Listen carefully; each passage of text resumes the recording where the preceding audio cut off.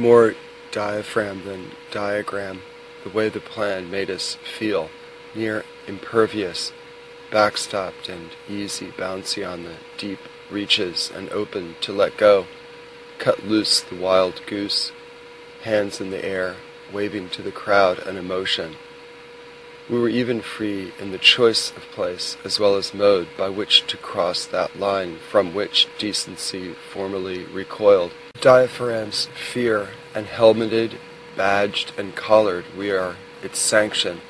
We ourselves planted gingerly that first cross, and then unchallenged its subsequent doubling, quadrupling, and exultant, finally its infinite warp, woof of bewildering progression until the land today is studded with crosses, trespasses no angel would thumb a ride through.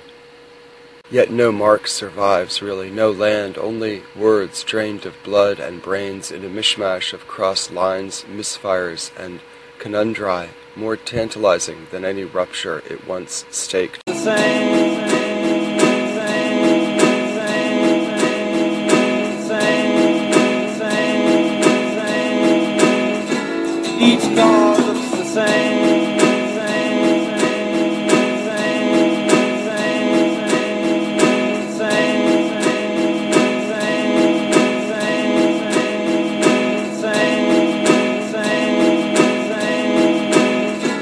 Each car looks the same.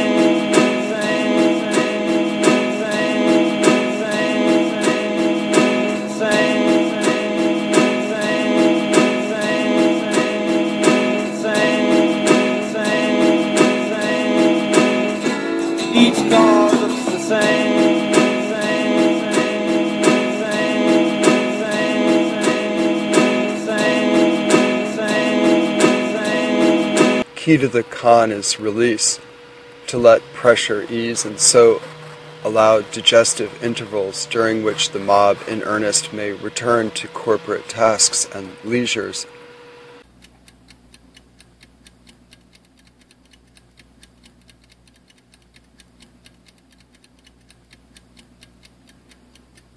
Time seems to stand still.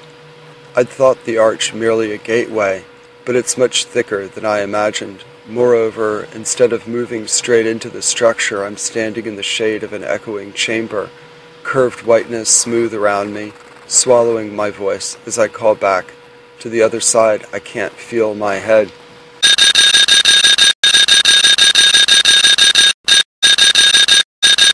Attendants part them, and they come out of the grave. End transmission.